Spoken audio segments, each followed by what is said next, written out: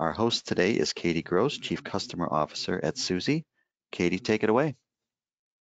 Thank you so much. Thank you everybody for joining us for this fireside chat. This discussion today is designed to be one of the most informative and action-oriented conversations that you'll attend. As mentioned, I'm Katie Gross, Chief Customer Officer at real-time market research platform Suzy. And we partner with hundreds of the world's top brands, helping them identify more agile ways to tap consumers for both qualitative and quantitative insights that will drive their business decisions. So today we're conducting this fireside chat to dig into how some of the leading insight leaders um, are navigating 2021 and preparing for a year of further uncertainty. Fran has been a user of Suzy now for a number of years and has seen our product and panel evolve over that time. And I'll allow Fran to introduce himself and give you all his background. Over to you, Fran. Awesome. Thanks, Katie. Good morning, everyone, or good afternoon, I guess, depending on where you're at. Um, yeah, like Katie mentioned, uh, my name is uh, Fran Guzman. I am the lead of insights and strategy at uh, Kraft Heinz, where I am over our what you could basically call our healthy snacking and hydration uh, portfolios.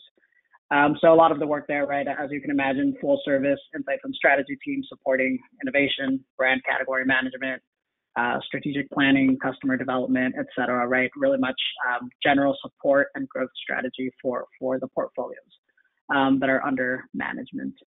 Um, prior to that, I, I, had similar roles at, at Sonic Drive-In, um, QSR Place, and also Dr. Pepper um, before they were Keurig Dr. Pepper. And then also did uh, three years in consulting. So um, been in the space for about 10 years and excited to see how these tools have been evolving in my time in the space. So excited to jump in. Awesome. Thanks for joining us today. What a background. So, Fran, right now at Suzy, we're predicting that it's going to be yet another year of being almost completely socially distant. How's Kraft Heinz seeing this right now? Yeah, I mean, and from a research perspective, right? If you think about it, when when March happened, um, I would say it was a moratorium on just anything and everything. Um, sentiment from consumer was all over the place um, you know, the, the uncertainty is just a, a, lot of going on that, that would not make a lot of research actionable or, or favorable for us at that time, right? Um, so upfront uh, at the beginning, it was very much a moratorium on it. And then it kind of blew up in terms of saying, how do we get creative, innovative, um, knowing that we can't be in person, knowing that we have all these limitations because of COVID. Um, and that sparked a lot of the possibility of being able to go into new things and, and try out aspects of it, right? The biggest the biggest adoption to date being the the comfort that comes with online qual um, versus in-person qual, right, which has been the standard and industry norm um, at the end of the day. Yeah, absolutely. And we'll definitely come on to that in a second uh, and really do a deep dive into there. Um, before we get there, though, I know that a number of our CPG and food and beverage clients right now are reorganizing themselves for 2021. Um, a lot of them are moving away from kind of category and brand teams and more into occasion-based teams. Could you tell me a little bit more about how Kraft Heinz is addressing this and what your thoughts are on that type of organization setup? Yeah, um, I actually have the great distinction of joining Kraft Heinz the same day that the new CEO started. Um, so it was a, a, very interesting component of it, right? Because with it, you know, to that end came a, a reorg aspect of it that, that we all knew and we were all expecting. Um, that was set to go live in March. Um, as you could imagine, things uh, things got shifted and, and reprioritized, right? But the biggest thing it, it, was that even COVID didn't necessarily change the approach. And, and if you listen to our investor day or, or seen kind of the coverage that Kraft Heinz got as we rolled this out, um, our focus was moving away from, from categories in terms of saying the snack nut category, you know, versus the yogurt category, and really focus on on consumer platforms in terms of how how consumers shop, right? So so we look at this as a healthy snacking component and healthy beverages versus you know cookies versus crackers type of thing, um, which is a very big shift in the industry because, as you can imagine, um, so much of this work is really much focused on the categories that we play in. Mm-hmm. Yeah, I can imagine. Um, and so, so I guess you know, thinking about the way that consumers consume and the way that shoppers shop, it's now kind of changed so much. Could you talk to me a little bit more about kind of thinking about the frame of reference from the shopper perspective and how they might be different from the consumer today? Exactly right. So that's the the big unlock for us. As sticking to our healthy snacking example, right? A consumer doesn't go into the store and saying, "I'm going into this aisle and buying this product."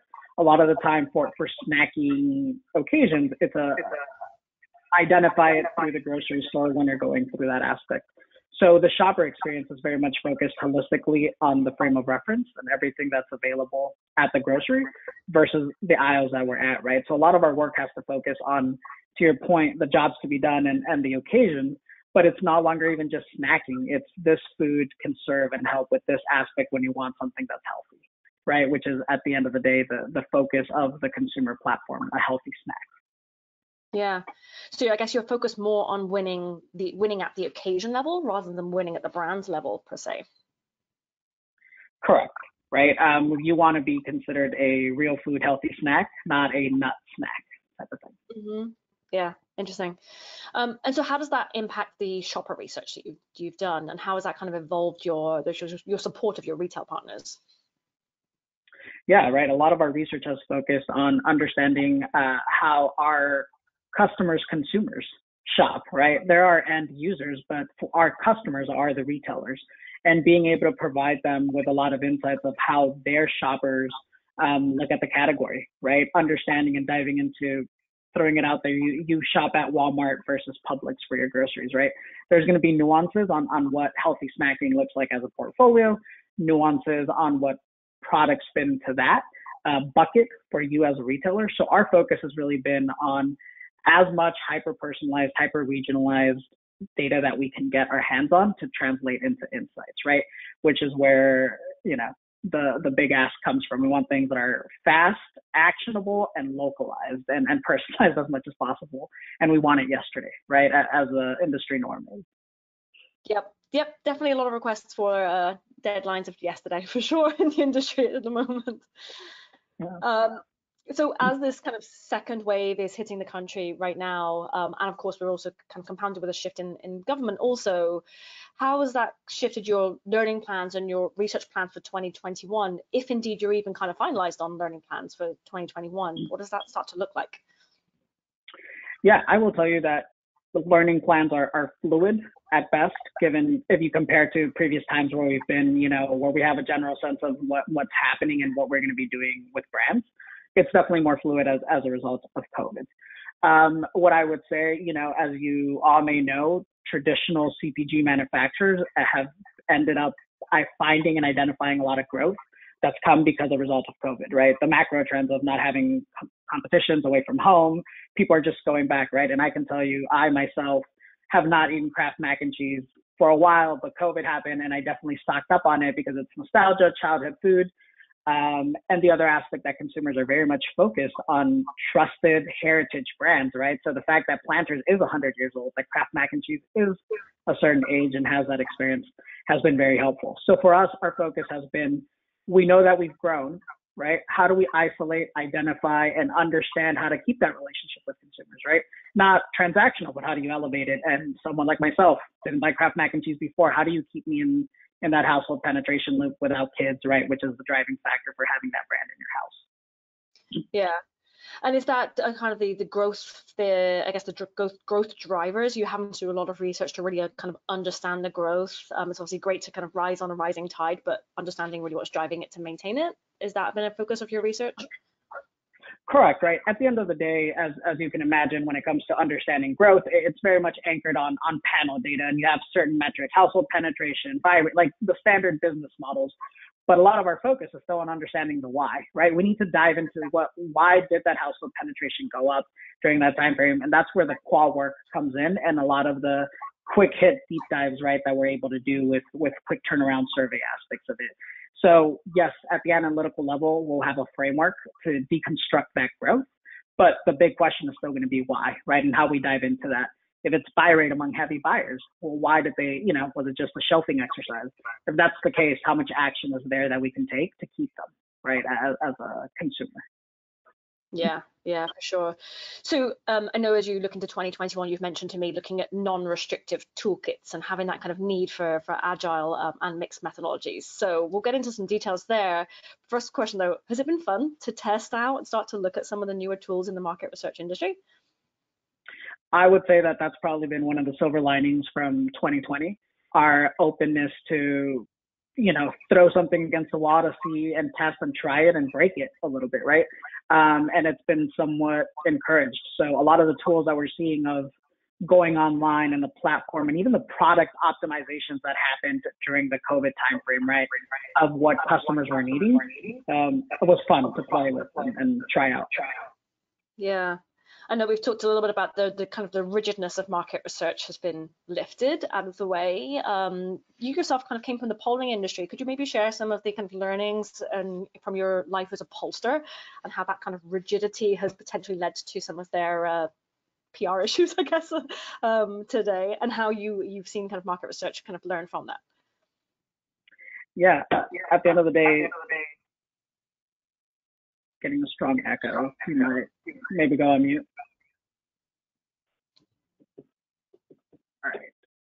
Um, when it comes to a lot of the polling industry, right, at the end of the day, um, it's anchored on your sample, right? Like who you're talking to about likely voters and how how they're going to turn up in that election. Um, and you live and die by that sample component of it, right? Um, that's your your framework, and that's where you're tracking along the entire way.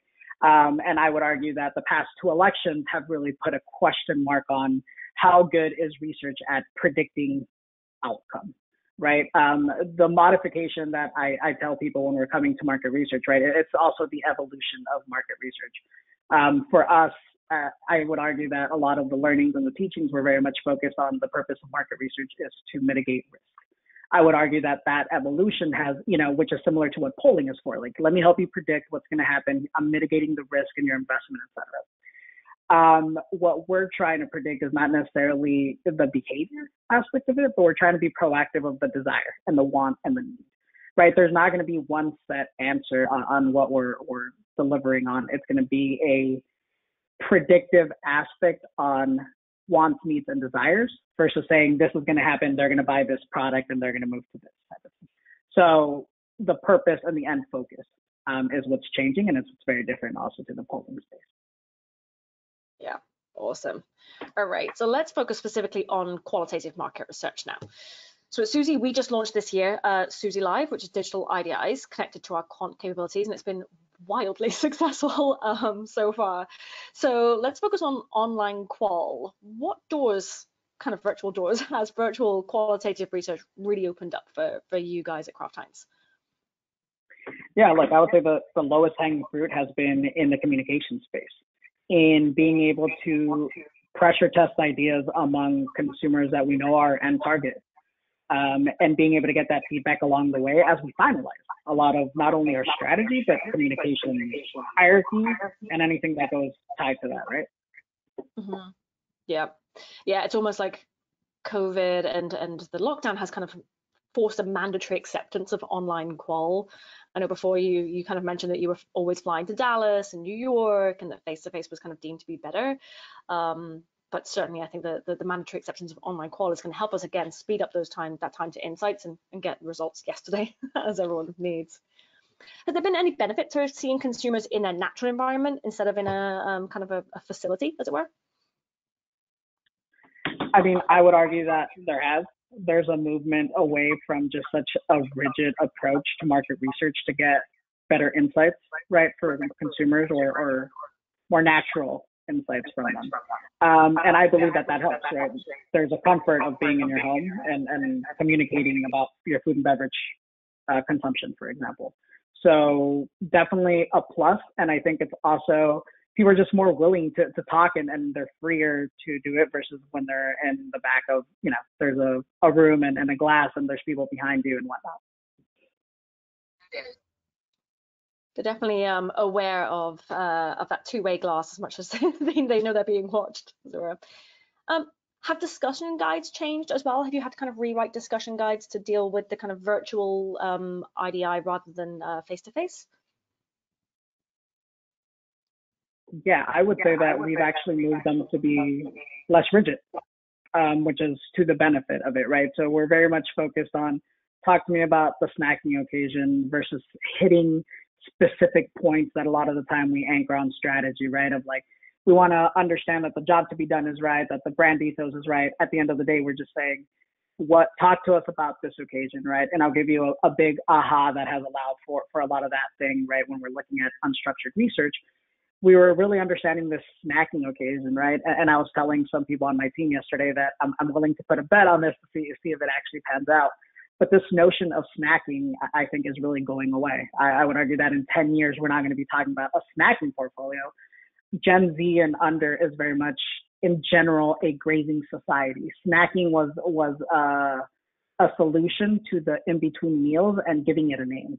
We've now moved away from that. There's no such thing as breakfast time because everyone has you know work from home. Like everything has gone up and, and changed around.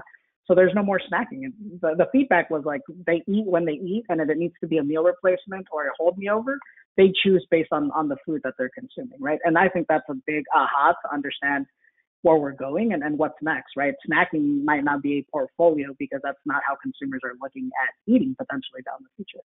Granted, that's that's a bet that I'm saying and and, and prediction that I'm trying to put out there, but that's some of the insights that we're able to get because it's less restrictive um, and it's qual one on one, right? And, and IDIs, and then you have to go and turn around and quantify that to, to justify any movement. But that's where those nuggets of insights really come from. Yeah, I would 100% agree. If you if you looked at, I guess, any of your participants' desks, they're probably just covered in snack wrappers.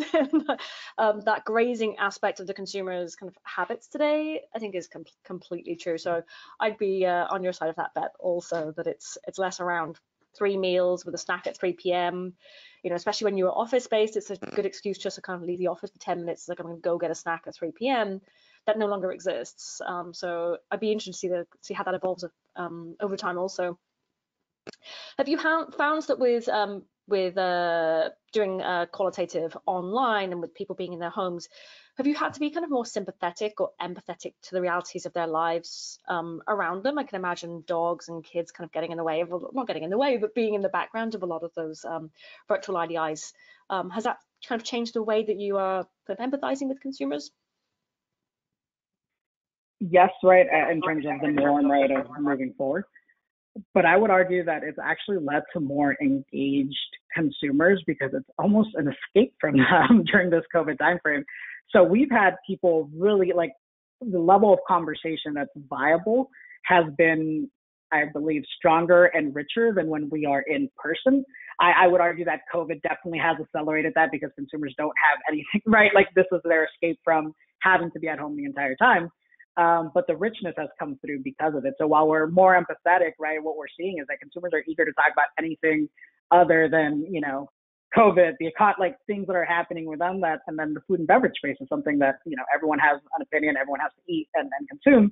So it, it really has seen almost as an escape. And, and I would be interested to see how much of that enthusiasm, you know, comes or, or stays post COVID uh, vaccines and then post COVID world, right? Yeah, it almost sounds like um, the, the, the, virtual kind of qualitative uh, world was a fix um, to not being able to do face to face, but maybe it's actually, if it's giving you richer insights, it probably will be a trend that actually stays way beyond um, social distancing.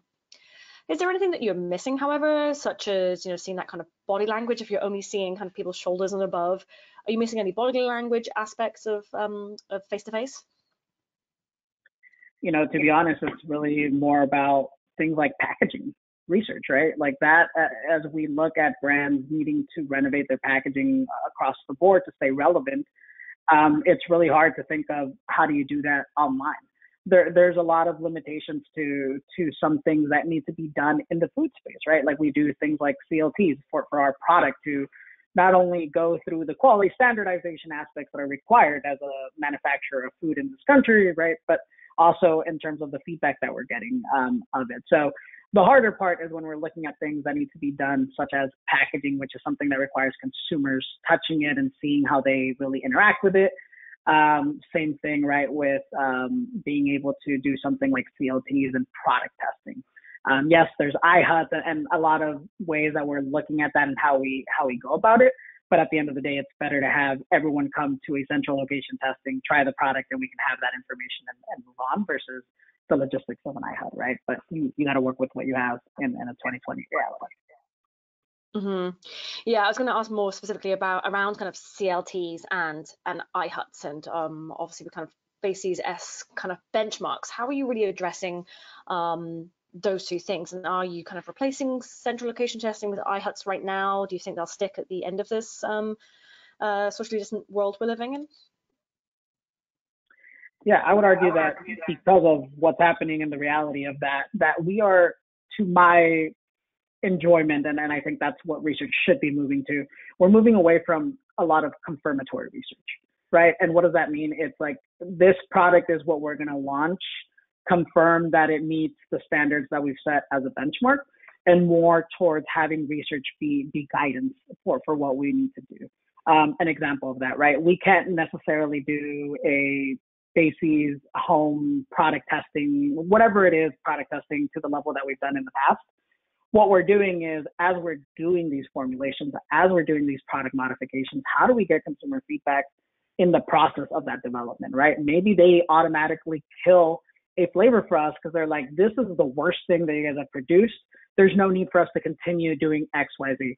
Or it could be like, hey, we're already thinking that this is going to be our lowest performing SKU because these flavors aren't out there but we hear consumers saying this is the best tasting out of all of them, right? Like it, helps modify and improve along the way versus confirmatory, which is where a lot of the CLTs of the world were landing, right? Um, so I would argue that that's been one of the big benefits um, as we move away from that capability or ability at the moment.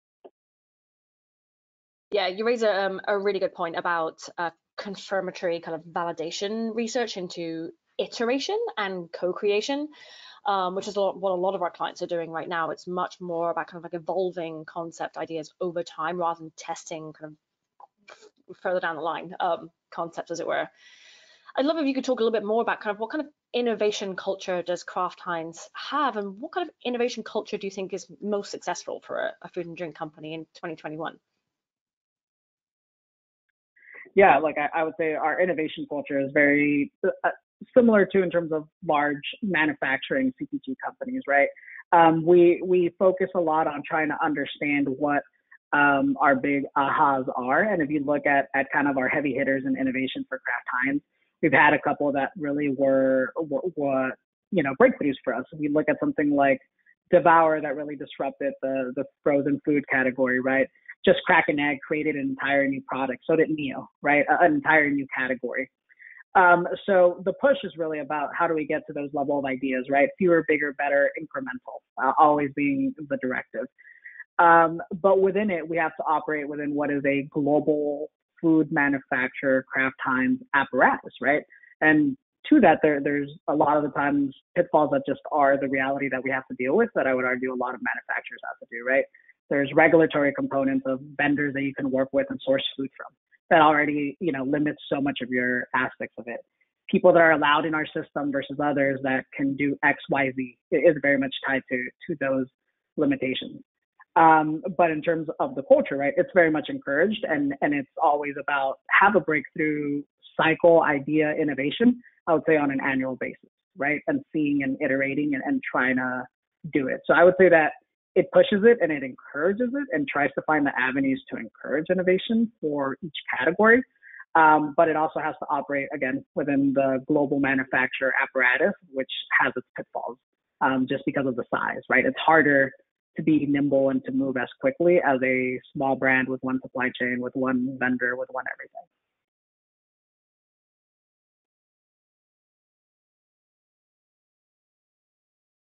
You're on mute sorry, issues with the muting button there. um, so you mentioned kind of an, an, innovation culture, and I saw a press release that you guys had recently on exactly to your point, fewer, bigger, better, um, etc. So really thinking about 2021, obviously you guys have seen a huge amount of growth in 2020. As you said, you're not having to compete with the out-of-home um, eating habits. It's really about the internal now.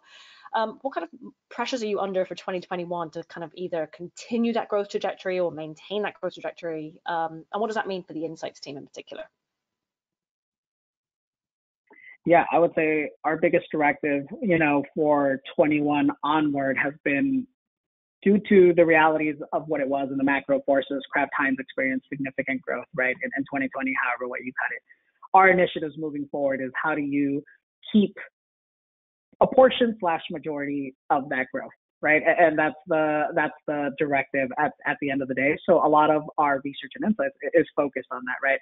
And when it comes to innovation, also understanding what has COVID really impacted in this, right? I think the whole notion of RX food was already on trend. I think a lot of people had heard of it. I mean, the way that it was being manifested, you know, definitely there. But I think we're at a crux for a great opportunity for a global manufacturer like Kraft Heinz because because of COVID, consumers are looking for established, trusted brands, but they're also expecting more from their food, right? So they're looking for that RX food. Is it gut health? Is it sleep? Is it XYZ? It's food plus, right? It's an additional benefit. It's no longer just a way to stay alive or a nutrient that you need to, to live, right? So given those two aspects coming out of 2020, right, I would say that that's probably one of the biggest opportunities for for brands like Planters and Kraft Mac and Cheese and, and even Kool-Aid and Jet Puff, right, that have been in consumers' lives for 30, 40, 50 plus years. Hmm. So you're a betting man. You've talked about um, grazing um, versus snacking, etc. Um, what are your thoughts on when the when we're kind of all said and done and the um, we have a vaccine and, and, things are open again, do you think everyone's going to rush to start eating out every night of the week, or do you think these new cooking skills and new brands um, and those kind of like comfort areas that we have learned and those new behaviors, do you think they'll stick way beyond the kind of vaccine and, and social distancing uh, being lifted? Yeah, I mean, definitely, I think up front, the shock period, and you can include me in that. It's going to be almost every other night going out to eat just to be able to go out and sit down, right? Kind of that initial shock from it. Um, I think some of the macro trends and data that we're seeing, though, I, I would. It's really interesting as we're seeing these um, these Uber of the food space, right, for food service kind of emerge, where it's ghost kitchens, right? We, we've heard of this from so many investors coming into this. Uber's old CEO is, is in the ghost kitchen space, really trying to do that, right? So what I actually see happening is more about at home behavior still being very likely, but leveraging more of the takeout opportunity because it's going to be more accessible and cost effective versus having to go pick it up and do it yourself. So it is going to be an easier occasion to get at home. So I, I do foresee that people are going to be leveraging that a lot more. Um, I think the dining out aspect of it is more of the experiential thing. So people are still going to want that at the end of the day. I think it's actually going to potentially increase the occasions for out of home food in home because it just makes it more accessible and different varieties, right? You can order from the same restaurant slash ghost kitchen and, and delivers the exact same time and, and whatnot. So the availability, I think, is going to go up, but the going out is probably going to go back to where, where it was, right? And then also dependent on the economy, as it's the first thing to to be cut from budget. Yeah, for sure. Could you explain for the audience more about this kind of ghost kitchen concept? I've only started to hear about it myself in the last couple of weeks, so I'd love to kind of hear your take on it and what it means um, and where that trend's going. Yeah, so I mean, the the idea is that you know the the biggest cost drivers when it comes to restaurants, and you look at the food service, right? Um, it was a similar issue at Sonic. Operations is you live and die by by operations, right? In terms of not only your profitability, but being able to deliver quality product, all, all, the things that, that go into it, right? And, and part of that operation is having the, the facilities, the capabilities to execute your menu in what shape or form, right? So we've already seen some restaurants that might share the same kitchen and they're right next to each other, but one's branded as a pizza place, another branded as a salad joint, right? Um, but they're the same thing what we're seeing is, you know, I could have a pizza brand that I develop myself because I, I am a chef and I, I love cooking pizzas. I can go to a ghost kitchen and rent it out, right? And say on this month, you know, when people order pizzas, I get the oven and I'm using it just for, for pizzas, right? While you could have Thai food, right, being cooked right next, and like we just take the stove space and then you borrow the other stove space. So I, as a consumer, right, they're seen as different brands. You know, you develop a brand as a food brand, but it's still being cooked in the same kitchen, the same ghost kitchen, right? That allows for multiple types of food going out, um, allowing for that access, right? For for a lot of restaurants that can't afford um, the kitchens and then the things that go uh, with running a restaurant. That's awesome. Thanks for explaining the the details there. Um, so thinking about kind of careers in market research as a whole, we've had to be very adaptive um, and resilient over the last year or so. And if anybody can hear that snoring, it is my French bulldog who is snoring right next to me. So apologies for that extra noise there. getting the real in-home experience for, for Katie Gross here. Um, could you talk to me a little bit more about kind of careers in market research and, and the skills that have been needed um, to have been developed this year to and what you think will need to be developed in 2021 to continue um, us to grow as an industry?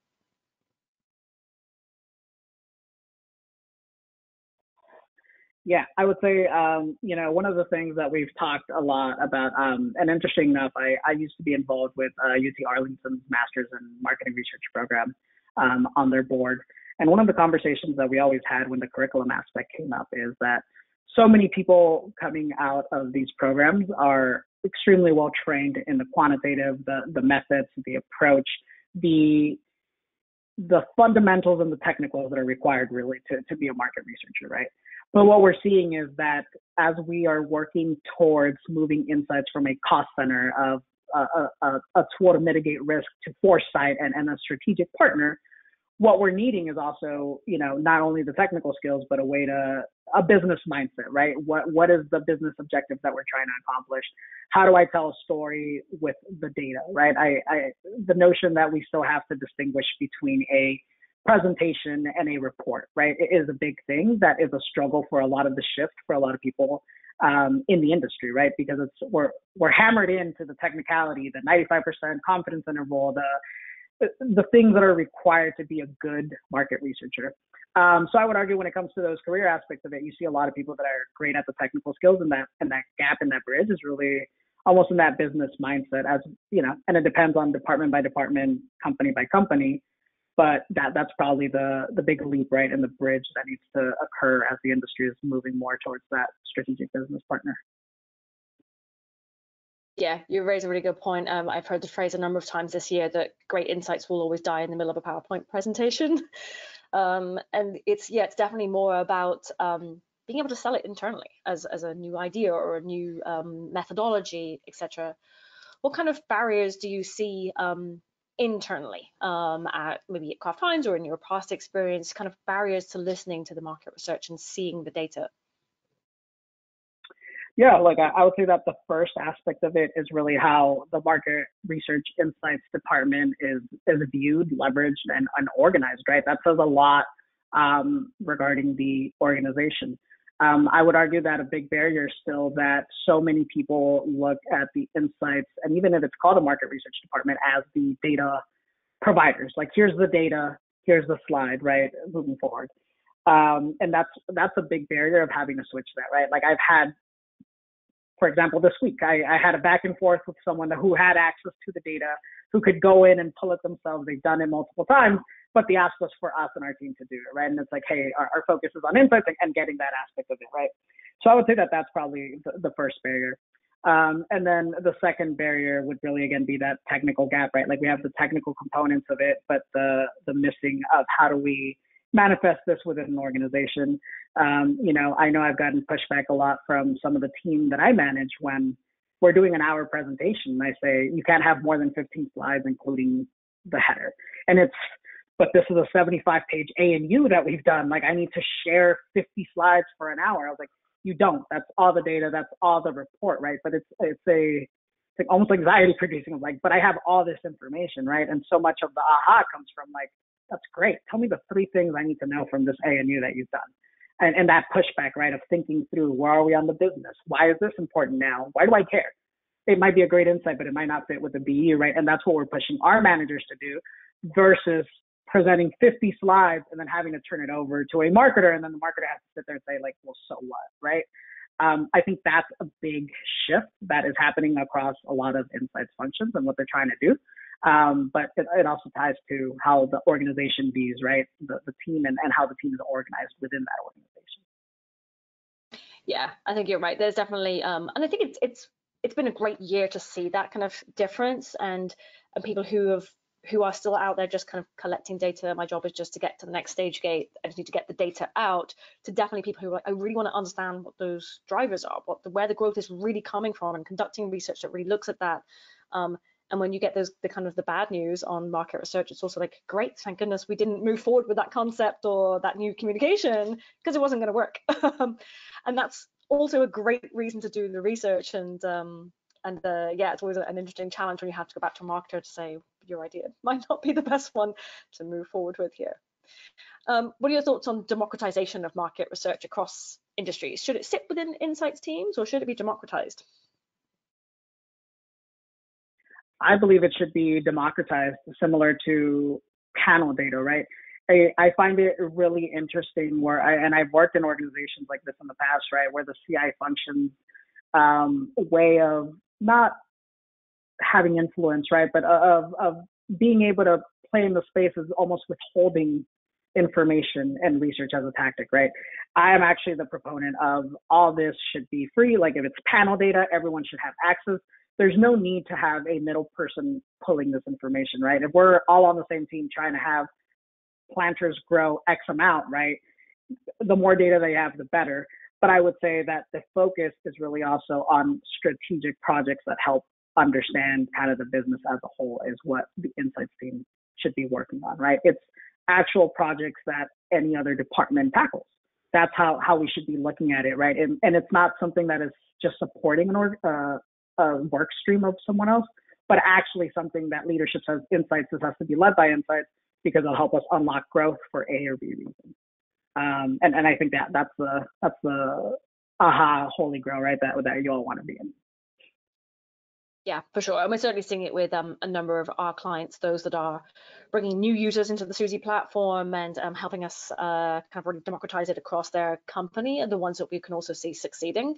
Um, and there are certainly some companies who will keep it just to that one user, um, where it's market research lives and dies within the one team, which can be damaging, I think, to a to a company in certain areas. And let's kind of, you know, uh, what advice you would have for other insights leaders um, here on the call around um, you know kind of how to stay ahead um, of the tools, how to stay ahead of um, all of the trends that we're seeing, um, and just really kind of what advice you would have as you as we lean into 2021 together as an industry. I don't know about the credibility of uh, being the one providing the advice on, on moving forward, right? But I guess I can tell you my experience and the approach I've taken a lot of the time.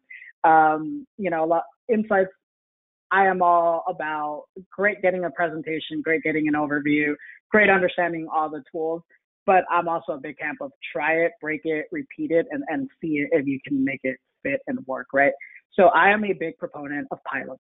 Um, it might not be a lot of money that gets handed to there, um, but it, it, allows us to really explore and view ways of, of doing things, right?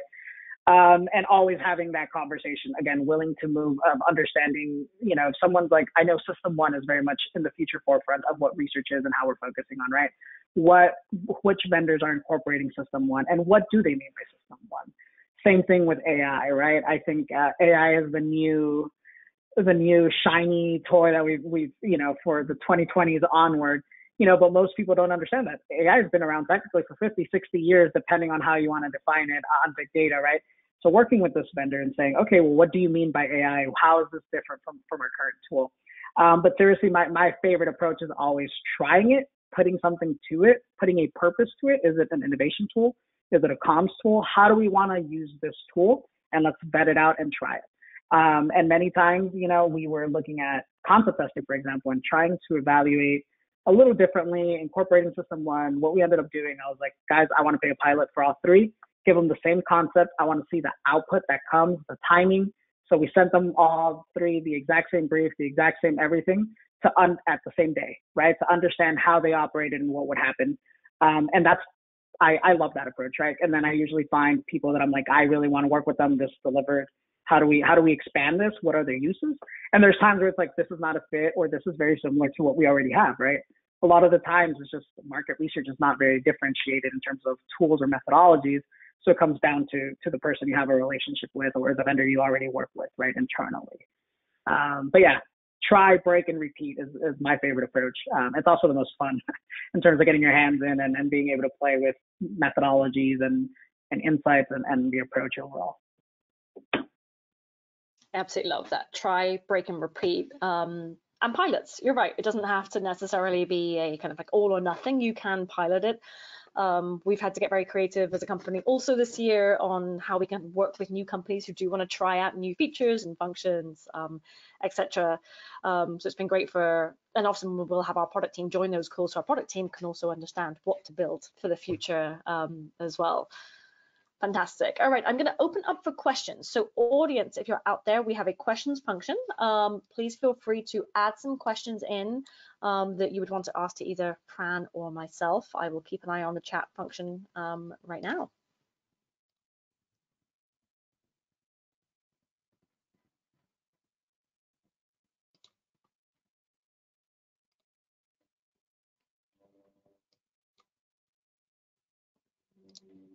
I don't see any questions coming in at the moment.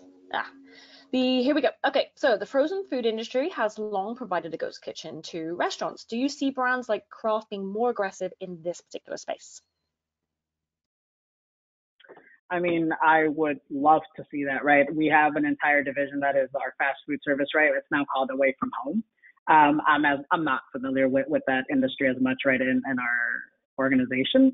Um, but the fact that we have an away from home pillar, right? I, I hope that that's part of what we're looking at and understanding and, and the opportunities to go in there, right, of the food and beverage experience as a whole versus just looking at ourselves as a manufacturer to be resold, right? It's almost a frame of reference shift that um, I would hope so, being part of that away from home. Awesome. Um, and the next question um, is related to the impact of the pandemic on the consumer insights function within the company. Do you feel that it's grown in importance in 2020 and do you, continue, do you see it continuing to grow um, in its importance in 21? I do. Um, I, I believe that the biggest questions come, right, but I, you could also argue that it's every year the same thing, right? But why? Why so much of the growth? Why is this happening in COVID? Why did they go to Kraft mac and cheese? It was really a nostalgia thing. Like there's just all this behavior shift that happened that one we weren't expecting, right? No one was expecting COVID reality or anything like that. And then seeing the drastic consumer shift in consumer be- in shopper and consumer behavior, you know, throws off a lot of your strategic planning. You're thinking, hey, I have all this data. This is the growth that I'm seeing. You know, groceries were supposed to underperform fast food this year, right? Based on the Mintel predictions in January, as we're looking at, at all the things that were happening. So now it's the big focus is why did the behavior change? How do we keep the favorability? And what behavior is going to stick and not, and what's the new normal, right? So it, it just opens up so many questions that we have, in addition to the brand strategy and category management work that was already part of supporting, you know, billion dollar brands of the day-to-day aspect? Yeah, it's a great question. Um, and a question regarding panels, I can probably answer. Um, so a major challenge for the country this year has been AI and bots making their way into panel data with panel partners, etc. Is this something that everybody's struggling with? So I myself, my background is in uh, panel, the panel industry. Um, at Suzy, we own our own panel. So something that we're doing um, at Suzy is we have just implemented um, a new quality manager um, but also a lot of companies in the panel space are moving into using AI, um, using companies like Sample Chain, MaxMind, and Mixpanel to really identify a lot of those kind of um, behaviors of time of day that panelists are responding, the speed at which they're responding, um, what IP addresses they're coming from, incognito window browsers, and so on. So uh, I think that question came from Zachary Smith. Happy to talk to you um, offline all about kind of panels and, uh, and how they're uh, challenged with uh, with bots, etc. There another question for you, Fran. Um, what are you doing with uh, transactional data right now, and how has that changed this year? Transactional data in terms of just panel purchase data, like how much has been sold or sold? I'm assuming so. Yeah, it sounds like that's the context. Yeah, a lot of it has been trying to cut and dissect it as much as possible in every way, trying to again identify blips uh, of growth and and what what's happening, right? So a lot of the focus also has been on supply chain components for what we forecasted in 2020 and the needs for products and, and modifying that, right? So a lot of I would say half of 2020 has been transactional and figuring out how do we put our ducks in order because of COVID realities. You know, some of those COVID realities are that they are asking for more product than they usually have in the back end before um, there's no new innovations going into our customers. Like all these modifications that are happening because of COVID, right, has been very transactional, and the sales has been more of analyze the performance of it, right. um, as you can imagine, it's been growth for, for a manufacturer as a whole. So it's like which brands grew the most, which ones had some declines, and what can we do about it? Um, but yeah, very transactional, very what. It's, we're still focusing on what happened really in 2020 outside of just overall growth. Yeah, I think we're all trying to work out what happened this year. um, a really fun question for you. So um, Christopher Fay asks, you've worked across a number of great categories and businesses. What's been the most surprising research finding that you've come across in your career and where did that lead you? I'll say that, and it was probably my, my favorite experience too, um, was I was um, over the Hispanic portfolio when I was at Dr. Pepper Snapple Group. Um, and part of my favorite research actually that we did was really, it was the first time that the market was really doing bicultural Spanish research um, that was happening in, in the space as, you know, given the growth of the segment and the opportunity that was there. Um, and basically, if you guys don't know Clamato, it's the equivalent of the tomato juice that you use for, for Bloody Marys. In Spanish, they're called micheladas, right? But it's the, the exact same thing. Um, and having to do a lot of this qualitative research, where we ended up, right, finding the territory and the space where, where we heard people saying that Clamato is in Spanish, there's no English word for it, right? But they called it convivio, which means to co-live with someone but it's when you go to someone's house on Sunday and there's no party or anything, but it's just a friend that you see on a regular basis. Clamato plays a role there. Um, it's you know you're going to go see your mom on a Tuesday after dinner or whatever. Like Clamato plays a role there. So finding this territory that you know you have to go back and say, how do I translate this Spanish insight narrative to a room that who doesn't that doesn't speak Spanish is trying to learn the Spanish market and advance this so that it is the, the territory that we move from, right, to that we action against. Um, so it was not only finding that insight, but being able to influence the organization, you know, as an associate manager and showing them that, yeah, this is the territory that we should go down because the insight in itself is so core and rooted. But it's a gamble when you can't even translate that to, to English, right, of what it means other than co-living.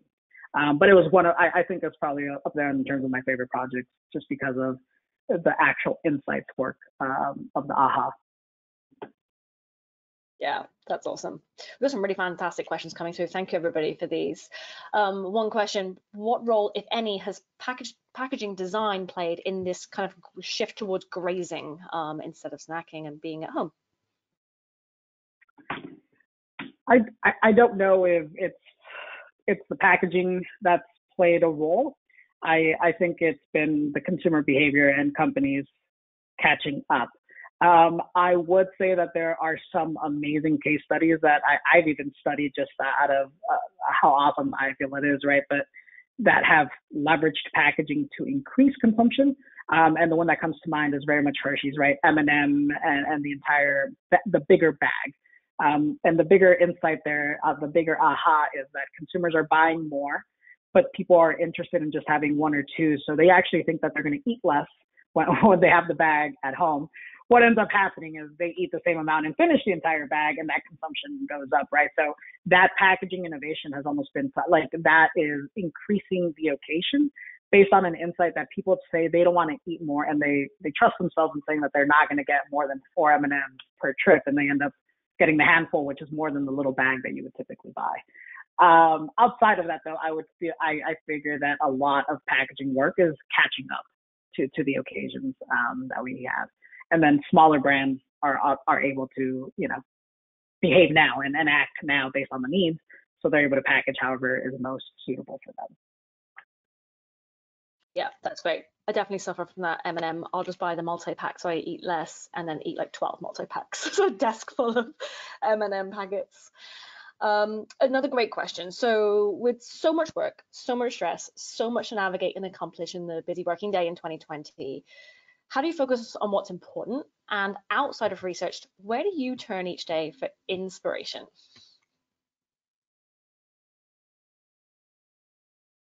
Yeah, so um, in terms of getting to uh, what focus on, right, I would say that it's really coming down to working and, and understanding the business objectives of the organization. And that sounds so so cliche aspect of it, right? But I can argue that many of the times the work that CI work is doing doesn't even know what it ladders up to in terms of this the company has said that these are going to be our growth platforms and this is what we're going to focus on. This is the objective for the priority brands of the company right? So being able to to streamline our work and knowing you know these are the three things we want to accomplish this year. And as you lay out your learning plan right i was like how does this learning plan tie to the three things we said we were going to accomplish this year right and that's already a lot for a major brand but there's that usually that disconnect um, at the end of the day right in terms of inspiration, uh, like I mentioned, one of my biggest things is um, having the business lens of what we do and trying to get to that strategic business partner. I've actually been obsessed right now with a podcast called Business Wars, and it's really awesome what it does. It actually gives you the history of two competitors, how they came to be, kind of some of the situations. So it's like Nike versus Reebok, um, McDonald's versus Burger King, right? And and how they came to be, financing issues, corporate re-strategy. So it's almost like a, a podcast that you're following for eight episodes, right? But it's on two competitive brands. Um, Netflix versus HBO is what I just finished, which was awesome. And it gives you that mindset of growth. How do you retain customers? How do you have a product? Like the things that you need to think about because we are at the end of the day manufacturers. And I think a lot of people don't even understand that frame of reference for Kraft Heinz, right? We manufacture products that get resold. That is our business model. Um, so having that frame of work and how other companies and cross industries, you know, you could learn a lot. And, and I love that just different mindset. And then how do you apply it to our business model? Amazing. And it's a podcast called Business Wars. Um, I really love how I made this, but I'm excited to dive into uh, Business Wars. I'll definitely get to that one. So, final question. It's a nice and easy one. It is where do you see consumer behavior in three years from now?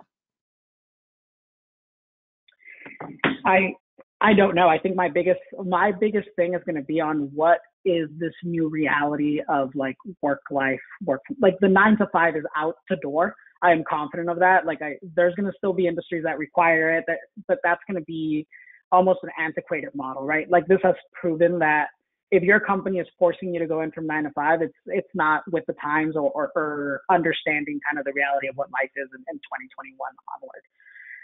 How that manifests itself is going to be, I think, the big distinction of, of, what the behavior looks like. So I, I don't know, and I don't have, I don't even have a bet, but I would assume that we're going into a hybrid model at minimum for the next five years of some office space, some at home space.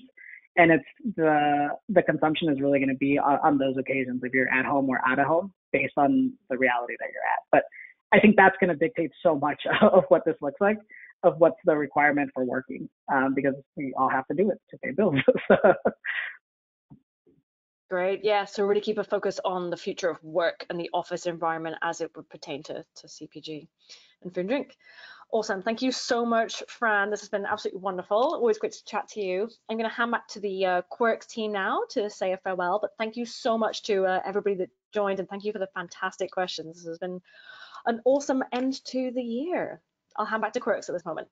Yeah, sounds great. Thank you so much. Yeah, those were some tremendous questions. I appreciate those from the audience. And Like to thank Fran and Katie and everybody at Suzy, and most importantly, all of you out there for taking time out of your schedules to be with us here today. We really appreciate it. So thanks again and have a good day. Thanks, y'all.